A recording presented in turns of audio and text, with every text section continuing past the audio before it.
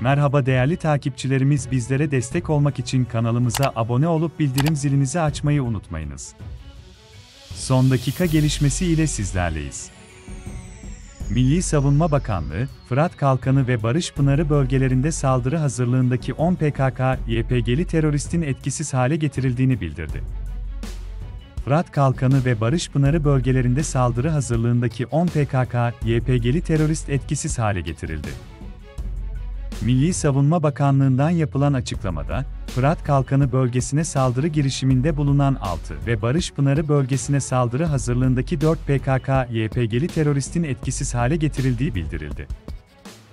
Kıymetli takipçilerimiz bir haberimizin daha sonuna geldik. Bir sonraki haberimizde görüşmek üzere.